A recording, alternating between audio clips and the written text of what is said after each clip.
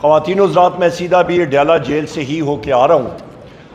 हमारे वहाँ पर मुख्तलिफ़ पार्लियामेंटेरियंस भी और पार्टी के एक्टिविस्ट मौजूद थे, जिनके पास अदालत का हुक्मनामा मौजूद था।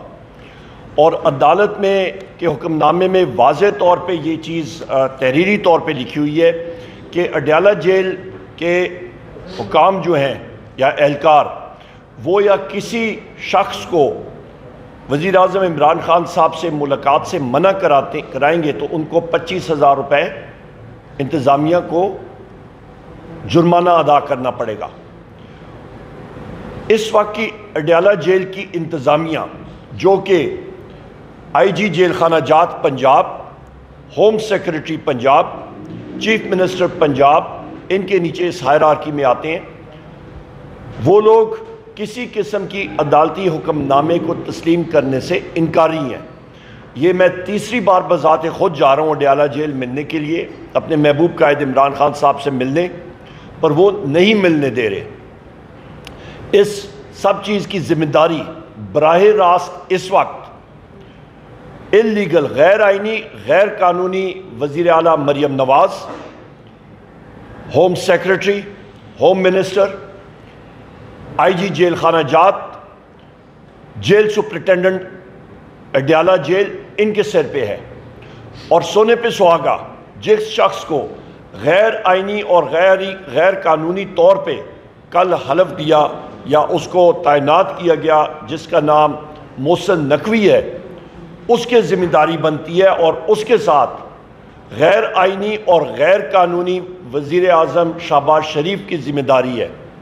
हम ये मुतालबा करते हैं कि हमारी मुलाकात, लीडरशिप की मुलाकात बैसीत चेयरमैन पाकिस्तान तहरीक इंसाफ बैरिस्टर गौहर खान साहब बैसीत leader of the opposition National Assembly में मैं ख़ुद, हमारी फिल फॉर मुलाकात की जाए, उनके ख़ानदान के मेंबर्स की मुलाकात की जाए, हमें खान साहब के सेहत के हवाले से, उनके बाकी चीज़ों के हवाले से, अमूर के हवाले से, उनके अदालती केसेस के हवाले से उनसे मिलना नहायत अहम है।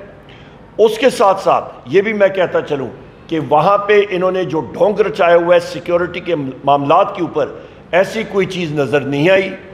मुख्तलिफ़ लोग मुलाकातों के लिए मैं देख रहा था, ख़ुद आइनी शायद था कि वो गेट के अंदर जा रहे थे और उसके अलावा माहौल जो था, वो बाय लार्ज वहाँ पे पुरअमन था। तो ये सिर्फ़ और सिर्फ़ मीडिया को दूर करना या पाकिस्तान तहरीक इंसाफ की लीडरशिप और एक्टिविस्ट को और कारकुनान को दूर रखना, इसके ऊपर सिर्फ़ एक ही मकसद है कि वज़ी अजम इमरान खान साहब को आइसोलेट करना, जिसकी हम लोग शदीद अल्फाज में मजामत करते हैं। कौमी असम्बली के फ्लोर पर ये चीज़ उठाएँगे और इन लोगों को हम लोग ये डिक्लेयर करते हैं कि हमारा इस्तकाक मजरू है।